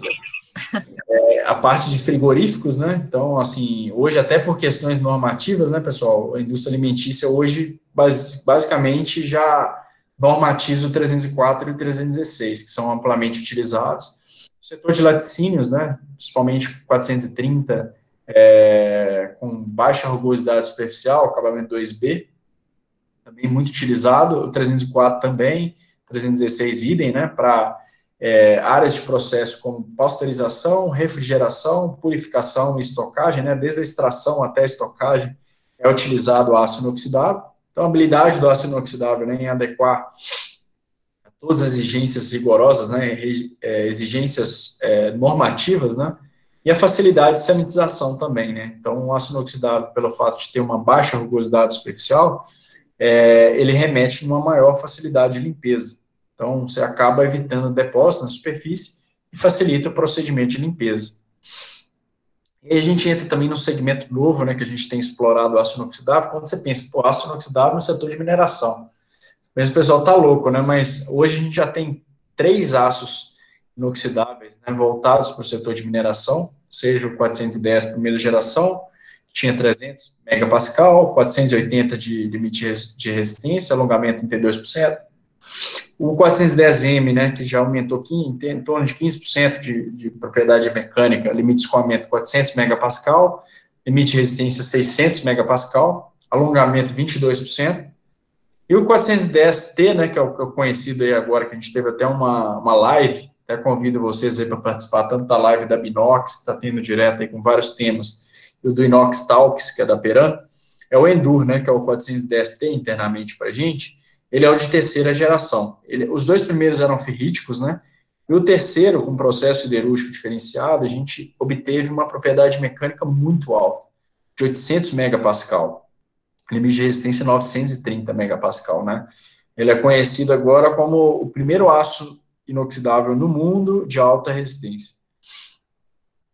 Então, a gente tem as aplicações, né, os vagões de minério da Vale, o primeiro que foi desenvolvido foi em 96, pessoal, e ficou até os anos 2000 é, sem identificá-lo, porque ele sujou, e aí suja, acha, fica aquela superfície parecendo um aço carbono, né? E não parava para manutenção, porque o aço inox tem resistência à corrosão mais alta. Então, lá ao longo dos anos 2000, acho que 2007, 2005, eles identificaram esse vagão, limparam ele, viu que era o aço inoxidável, né, o protótipo que estava rodando, e depois disso a Vale hoje, boa parte da frota, né, já tem mudado para o aço inox, no 410. Porque quando você vê o aço carbono aqui, né, o que, acontece? Fenômeno, né? A ida é carvão e na volta é enxofre. A volta é mais, vamos dizer, rigorosa, porque o enxofre, o, desculpa, a ida é, é transporte carvão, e na volta é transporte coque. O coque é, é, tem mais teores de, de enxofre, né, vamos dizer assim, é, e reagindo com, com, com meio, né, acaba virando aço sulfúrico e acaba gerando, né, uma superfície oxidada, né, do aço carbono, que a gente vê que é aquele desplacamento de material é, devido à corrosão na lateral, e depois, ao longo do tempo, com descarregamento e não de minério, né, você tem a redução de espessura, e depois, além da redução de espessura, né, manutenção também que você tem que fazer, essas laterais ficam, é, como é que posso falar, é, com alguns buracos na lateral. E aquilo ali vai carregando minério peso morto, né, durante o processo. Então, é totalmente inviável. Só para vocês terem ideia, o aço carbono, em média, aí, dura sete anos. No aço inox, a gente está estimando em 40 anos, né? Então, a diferença é muito grande em termos de durabilidade, redução de espessura então, você trabalha geralmente no carbono 6 e pouco, ela está vendo laterais e fundos 3 e 4 milímetros, mas no 410 a gente tem testado espessuras menores para justamente reduzir o peso também, tá? Algumas outras aplicações, né, essa foi inclusive até com a gente que fez, foi na Celomital, que é o primo nosso, né, o Mital, por exemplo, é 40% ainda de, detém da, da Peran.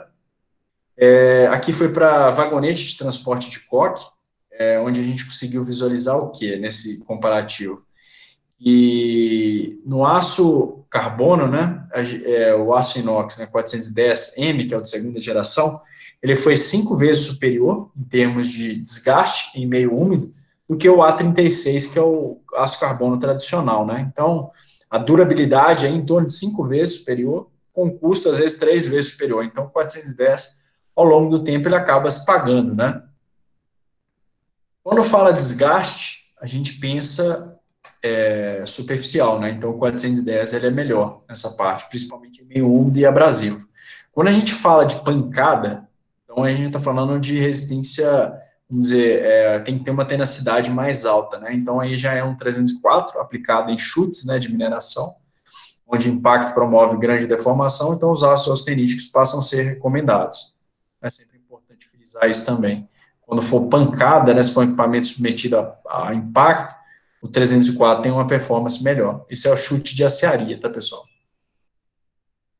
Transporte, né, 410 em estrutura de ônibus, por exemplo, é uma aplicação, por incrível que pareça, né, não é no Brasil, é, principalmente porque lá fora, né, principalmente Chile, Estados Unidos, África do Sul, é, sofre com a neve, né, e aí a, a, o que eles usam para a retirada da neve é o sal, né? E o sal é extremamente corrosivo. O aço carbono você tem muito problema de corrosão. Mas é interessante divulgar essa aplicação aqui, né? Até para a gente trabalhar na questão da, da também de trazer é, boas práticas né, de fora. onde eles utilizaram a estrutura do 410 para estrutura de ônibus, né, reduzindo a espessura e reduzindo o peso do veículo, né, que é importante. Construção civil, né, partes de telhados e coberturas, né, então você acaba promovendo maior conforto térmico, né, queda de temperatura, maior durabilidade, né, menor tempo de manutenção, conformabilidade, né, dos aços ferríticos, por exemplo, que são amplamente utilizados. Você trabalha também na parte de redução de espessura, né, ali só o, o, mapa de corrosividade do Brasil, né, onde você tem principalmente a região de Fortaleza, a gente fala que é extremamente severa, né, então sempre tem que ser avaliado o meio, né, onde você vai ser aplicado, se vai ser ambiente litorâneo, se é mais agressivo, né, ou não, para justamente com essa tabelinha, né, a gente tem na Binox, depois se vocês quiserem visitar o site, ele é bem técnico, tá, tem as publicações, os informativos, que a gente coloca as melhores aplicações, né, de, de acordo com cada ambiente, cada aplicação, Parte de arquitetura também, né, com aço inoxidável é bastante consolidado, né, 439, 430, 304. As estações da Faria Lima ali, por exemplo, do Butantã, as fachadas tudo 439, 430 foram empregados. Outras aplicações, né, que é muito utilizado aí, principalmente para dar um tom de modernidade, né, corrimão, bancos, catracas, agora até pensando nessa questão do Covid, né, o aço inox tem sido muito utilizado, porque o aço inox ele tem uma baixa rugosidade superficial, o que reflete na melhor facilidade de limpeza, né? E menor proliferação de bactérias, né? Então, o próprio COVID aí facilita a própria limpeza é, em determinado produto, né? Ou equipamento. As placas de propaganda, né? Bebedouros também, muito utilizado aço ferrítico, assento, playground. Você tem aqueles equipamentos de academia, por exemplo, que utilizam muito o 444 e o 304. Os equipamentos, por exemplo, do Parque Ibirapuera utilizam o 304. É, e aumenta a resistência à corrosão também, né, que a gente vê alguns também é, em aço carbono pintado, só que à medida que você é, rompeu a pintura, né, é um aço carbono, ele vai oxidar a superfície, você vai ter que fazer manutenção, não tem jeito.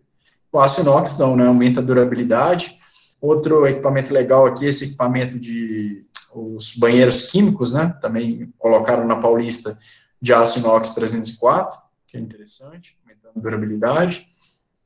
Outras aplicações, né, na parte de arquitetura, é, o aeroporto de Pinto Martins, né, em Fortaleza, que utilizou o 444, aumentando a resistência à corrosão.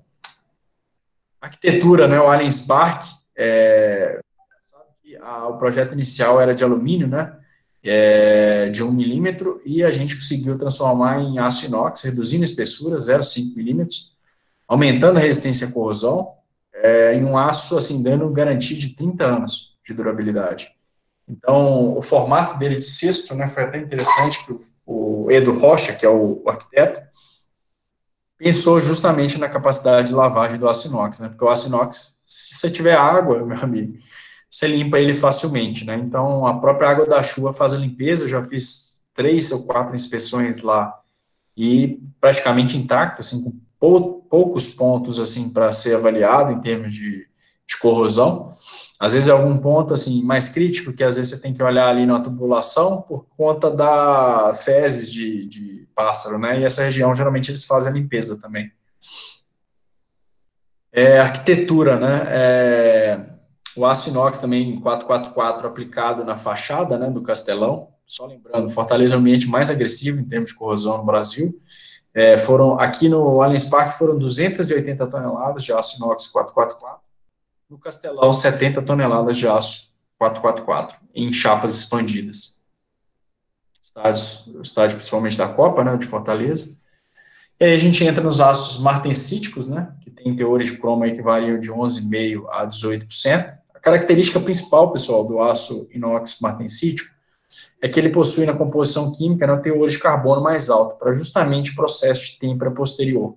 Só lembrando que né, ele sai, por exemplo, da Peran como ferrítico, né, e só transforma em martensítico no cliente, para justamente ter sua principal característica de elevada dureza. Aqui é a microestrutura né, dos aços martensíticos, a família, a gama de família é menor, né? Então você tem principalmente 420, o 498 e o 440, que a gente não produz, mas.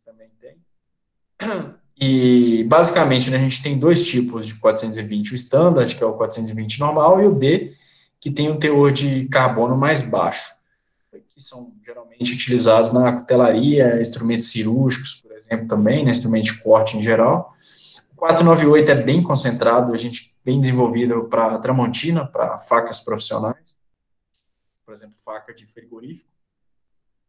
As aplicações, né, disco de freio de motocicletas é o 420, disco de freio da Honda, por exemplo, é o 420, né, Instrumentos cirúrgicos e ortodônticos, né, também utiliza bastante 420. Parte de cutelaria, né, as facas profissionais, as facas tradicionais de mesa também, utilizando tanto 420 quanto 498.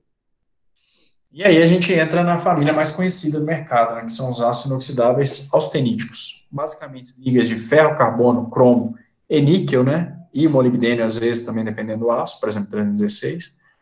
É, característica, né, ele tem o níquel na composição química, geralmente são mais caros que os ferríticos, né? É, eles possuem baixo teor de carbono, o que reflete numa melhor soldabilidade. Não são magnéticos, né? É, entre aspas, porque em regiões de conformação, por conta da conformação a frio e transformação martensítica, ele pode chegar a pegar imã, né? Às vezes alguns clientes tiram a dúvida, pô, tô com aço austenítico aqui, ele tá pegando imã. Por quê? Porque justamente por conta dessa transformação martensítica, né? Você pega, por exemplo, tanques, de 304, às vezes naquela região de conformação, né, do tanque, você chega com um imã ali, lógico, não pega igual um ferrítico, mas ele pode chegar a pegar imã. Eles não são endurecíveis por tratamento térmico, né, então ele apresenta excelente resistência à corrosão por conta do cromo mais alto, ductilidade, né, por conta do níquel, e soldabilidade por conta do carbono mais baixo. São utilizados em diversas faixas de temperatura, né, desde condições criogênicas até elevadas temperaturas e possui estrutura cúbica de face centrada, CFC. Aqui a portfólio né, gigantesco dos aços austeníticos, né? Então você parte de um aço mãe 304, trabalhando né, no cromo 18 a 20%, relativamente alto, que reflete maior resistência à corrosão. O níquel de 8 a 10,5%. E à medida que você vai adicionando ou reduzindo elementos, você tem outros aços, né? Reduz o teor de carbono por exemplo, menor ou igual a 0,03, você tem o low carbon, né? Por isso que você usa o L nos aços 304L. Por isso que a soldabilidade, eles são mais indicados, porque ele evita o efeito da sensitização, justamente por ter um teor de carbono mais baixo. O 316L, ó, desculpa, o 316, você adiciona molibdênio, né? Então, aumenta a resistência à corrosão. O L, justamente, o teor de carbono menor ou igual a 0,3 03. Por exemplo, a Peran ela fornece os aços inoxidáveis 316 barra 316L, né, dupla certificação, por já estar no menor ou igual a 0,03. O 301, né, você começa a reduzir o teor de níquel do 304 e você reduz o níquel e substitui por manganês e nitrogênio, você tem o 301, que tem propriedades mecânicas mais altas, né, eles, por exemplo, que a gente fornece no estado cruado, acabamento encruado, para aplicações de vagões de minério, vagões de, de transporte de pessoas, né, os vagões metroferroviários. A série 200 que vem crescendo com a China, principalmente, é, se substitui muito o níquel por manganês e nitrogênio. Cuidado tem que ter, principalmente em ambiente litorâneo, né, porque ganha muito em propriedade mecânica, mas perde bastante em resistência à corrosão. 310, que a gente fala que é o aço refratário, né, você substitui o desculpa, você aumenta o teor de cromo, né, de 24% a 26%, ele é um aço relativamente caro, né, e o níquel 19% a 22%. Então, o elemento de liga, ele tem muito, né, então, ele é um dos aços mais caros do nosso portfólio. Para resistência à oxidação em altas temperaturas, né, ele é aplicado em partes de fornos, equipamentos bem críticos em termos de temperatura, ele pode chegar a aplicação até 1.100 graus, só para vocês terem ideia. Outros aços, né, 317, que é a continuação do 316, aumentando o teor de molibdênio, 317L low carbo, né, menor, carbono menor ou igual a 0,03. Quando você tem um teor de carbono mais alto, aí você já tem o H. O H é de high, né, de alto carbono, e ele tem de 0,04 a 0,10. Então, é, é para propriedades mecânicas mais altas e também resistência a altas temperaturas. As principais aplicações, né, o segmento de papel celulose consome bastante. Né? A gente tem um projeto Amadeus aí que teve várias caldeirarias fornecendo 304, 304L, 316, é, justamente para ambientes é, e aplicações mais exigentes, né, em termos de resistência à corrosão. A indústria farmacêutica, né, que é bem consolidado, aço inox austenítico, seja 304 ou 316. Indústria alimentícia, por questões normativas, né, é 304 e 316. Indústria química é variado, né, 310, 304, 316, são amplamente utilizados. Os vagões de transporte, né, que aí a gente vê o, o 301 encruado, é justamente para obter propriedades mecânicas mais altas, né, então é submetido à fadiga, né, e não pode falhar, né, porque está transportando pessoa. Então você utiliza o 301 no estado encruado. As cervejarias, né, utilizam muito 304, 304L, 316, né, que vocês, inclusive, estavam fazendo o trabalho da Camila, que foi bem legal, que a gente pôde fornecer as amostras para a parte de solda, né, de, de de aço inox 316, que é amplamente utilizado, né, cervejarias são bem exigentes em termos de, de resistência à corrosão, acabamento. É, na parte de transporte, né, os vagões de transporte, por exemplo, uma vez eu entrei, entrei dentro de um vagão de 316, ele tinha corroído, né, e era 316 que tem resistência à corrosão alta, por exemplo, é, de transporte de aço fúrico, utilizam muito o aço inox 316 pela resistência à corrosão mais alta mas dentro do tanque tinha ácido sulfúrico e ácido clorídrico. Aí misturou os dois, virou uma bomba, né, vamos dizer assim, e tinha corroído o 316 na época, quando eu fui visitar, mas comumente é utilizado 316 para ácido sulfúrico, para transporte de ácido sulfúrico. Agora, outros elementos, né, por exemplo, leite, pode ser 304, dependendo da composição, até 430, né, no revestimento. Mas, comumente, é 304, 316, mais utilizado para tanques rodoviários. É interessante, né? Aqui é a estação da Princesa Elizabeth, só para puxar um conceito do aço inox, principalmente a série 300, é que é, são os mais indicados para temperatura abaixo de zero. Então, para aplicações, por exemplo, no sul, você tem que tomar cuidado, dependendo da região, para o ferrítico, que ele pode ter a transição ducto frágil, né? E chegar a falhar. Então, tem que ter alguns cuidados aí para temperatura abaixo de zero. Sempre a austenítica é mais indicado duplex também fica fora nesse tipo de aplicação. E a gente entra no duplex, né, que são aços especiais, porque é, é um aço inox bifásico, né, onde você tem cerca de 50% de austenita e 50% de ferrita, né, então ele une as melhores características das duas famílias, é bem interessante esse aço, um grande potencial ainda de crescimento no Brasil, né, porque fora você tem alguns segmentos consolidados que no Brasil ainda não tem. O Brasil, basicamente, é óleo e gás e papel e celulose. Quando a gente vê a propriedade mecânica, a gente até assusta, né? Que o duplex, geralmente, é o dobro de um aço austenítico comum. 304, 316. Então, isso reflete muito, né? Principalmente limite de escoamento e redução de espessura, né? Onde um projeto, por exemplo, de um tanque de papel celulose, onde era utilizado um 316, no duplex você reduz 30%, 40% da, da, de peso em relação a um austenítico. Então, isso, ou às vezes até 50, dependendo da propriedade mecânica. Então, o ganho de, de redução de peso é bem substancial, além da resistência à corrosão, né, porque a gente está falando aí de aços com 22, 23, 21% de cromo. As principais aplicações, né, a gente teve o projeto Amadeus aí que a gente está fornecendo agora, volume gigantesco de aço inox duplex, 2304 que é o Lean duplex e o 20, 2205 que é o duplex, que, que fala Lean Duplex, Duplex e Super Duplex? Isso está atrelado ao PRN, tá, pessoal? Que é o número equivalente de resistência ao pitch. Então, tem determinada faixa que define ele como duplex, que é o 2205 do nosso portfólio, que é o que tem maior resistência à corrosão. O Lean Duplex, que é o 2101, o 2304, por exemplo, que a gente produz. E o Super Duplex, né, que é o 2507, a gente não tem no portfólio, mas é, existe também, que é para aplicações bem críticas, né? Os tubos flexíveis, né, uma das aplicações mais interessantes que eu já vi, é o segmento que eu atuo também, que é o de óleo e gás, é a carcaça que vai em contato, né, com o petróleo, que tem o aço sulfídrico, que é extrema, que é o HS, né, H2S, que é extremamente corrosivo, é de aço inoxidável, duplex, depois tem várias camadas, né, que vai desde Kevlar, aço carbono, até a última camada, que é polietileno. São cerca de 10 camadas de tubo. Então, o processo é bem crítico, né? Você tem algumas empresas grandes, NOV, Tecnip é, e AGE, produzem esses tubos, e a carcaça é aço inoxidável duplex, né, justamente por um aço onde você tem que ter elevada resistência à corrosão, por conta dos gases que estão dissolvidos no petróleo, e a composição do petróleo por si só, e também a resistência mecânica, né, porque principalmente a camada de pressão, ela é solta, né, então você tem que ter uma, uma resistência mecânica elevada.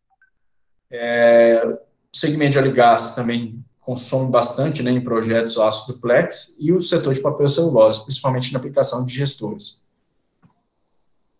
Aqui a gente vê o PRN, né, que é o número equivalente de resistência ao pitch, onde basicamente a gente pega a composição química do aço, né, que a gente vê no certificado de qualidade, pega o teor de cromo mais 3,3 o teor de molibdênio mais 16 vezes o teor de nitrogênio, e faz o cálculo né, de maior ou menor resistência à corrosão, que é o PRN, que eu falei com vocês, que define como duplex, superduplex ou lean duplex. E a gente vê que o duplex tem o PRN mais alto, em torno aí de, o 2205 tem em torno de 35, né, 317 em torno aí de pouco menos que 30, 2304, 25, né, PRN, e aí você vem para a gama de austeníticos, né, 316, pouco menos que 25, 304, né, pouco menos que 20, Está bem atrelado, né, o teor de, de cromo, de molibdênio, que potencializa, né, por conta da, de reforçar a camada passiva, e nitrogênio, né. É, e o que, que eu quero mostrar aqui, né, aqui a gente está vendo o teórico, né, e é bem prático.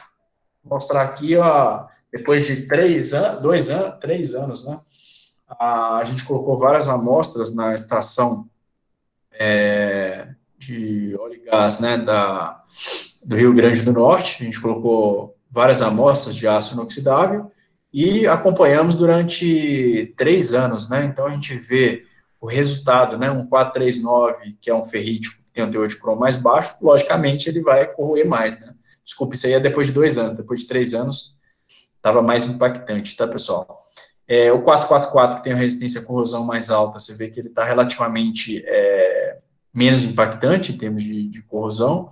304, 316 também menos, né? Justamente porque tem uma resistência corrosão mais alta. 317 e o 2205, né? Praticamente intacto, porque tem, só a gente relembrando, 317 e o 2205, né? Resistência corrosão bem mais alta. Então a gente vê no prático também. O 2304, né? Com uma resistência corrosão relativamente boa, né? Aqui é só o aspecto superficial dele, mas ele não está muito oxidado, tá, pessoal?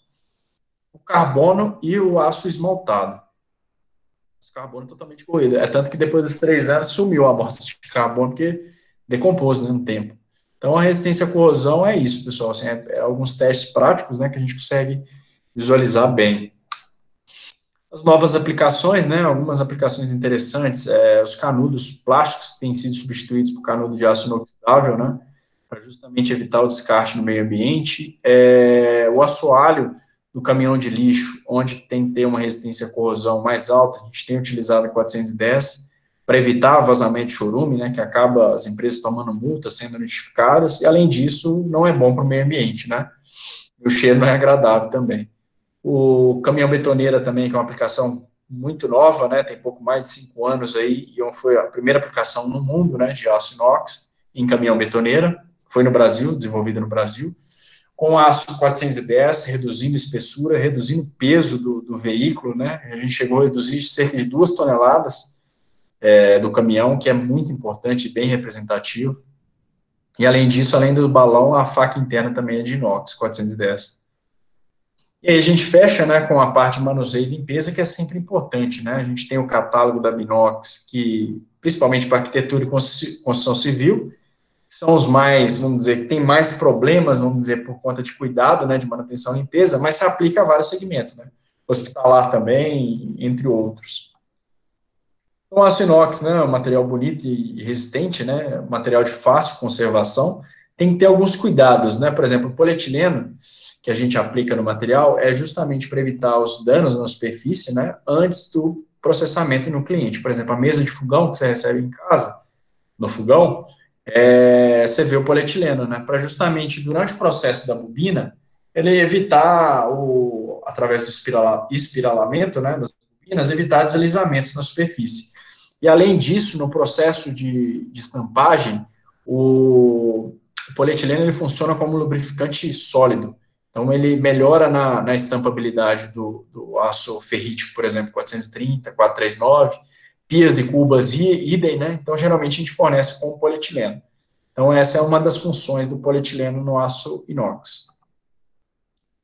Os produtos de limpeza, né? O aço inox, eu costumo resumir que é, ele gosta muito de água. Então, assim, isso é já mais cuidado, né, em termos de, de, limpeza que você tem que ter, por exemplo, bucha de nylon, você tem utilizar aquela parte branca, né, para facilitar a, limpeza e evitar arranhar a superfície, evitar aquela face verdinha, né, é, sempre nos acabamentos escovados, né, você fazer a limpeza direcionando para o sentido do, do, acabamento lixado, ou seja, não fazer a transversal, né, para, por exemplo, a mesa de fogão, para evitar dano, né, na superfície. Utilizar pano macio, úmido, né, às vezes você, por exemplo, tem alguma crosta na, na mesa de fogão, é, usar uma, uma água mais quente, né, para tirar o, o, a crosta, né, alguma coisa nessa linha, e fazer a limpeza, né, é, para evitar dano na superfície, uma vez danificado, o inox, uma das suas peculiaridades é o acabamento superficial, né? Então, uma vez perdido,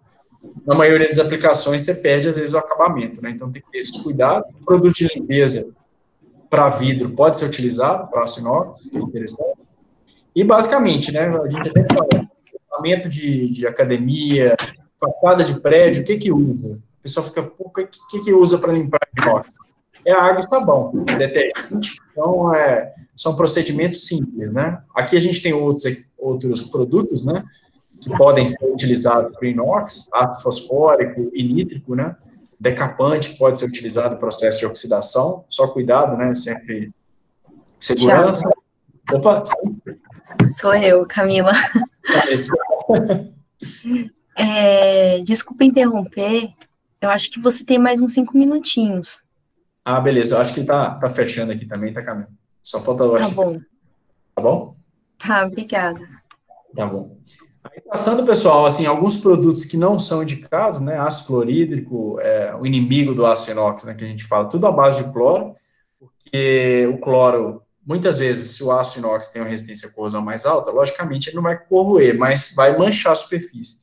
Então tem que ter cuidado, alvejante, né? São produtos clorados e devem ser evitados Polidores de prataria, né, são abrasivos e podem arranhar a superfície do inox. Bucha abrasiva também, né, bucha de aço carbono, né, aquelas buchas de aço de carbono são, não são indicadas, né, porque o carbono na superfície do inox, ele oxida primeiro e depois é um ponto para corrosão no inox.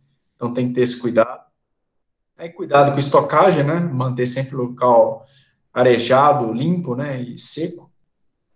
Limpeza, né? Aí a, a, parte do aço inox que é interessante, né? Quando você compara com outros produtos como aço esmaltado, resina mineral e policarbonato, ele retém 10 vezes menos bactérias por ter uma baixa rugosidade superficial, facilitar o procedimento de limpeza e dificultar a proliferação de bactérias, né? Por exemplo, agora que a gente está vivendo em meio pandemia, a gente está vendo várias aplicações, é, seja na parte de asepsia, né? De equipamentos de asepsia, em aço inox, né? Porque o aço inox tem uma baixa rugosidade superficial e facilita a limpeza.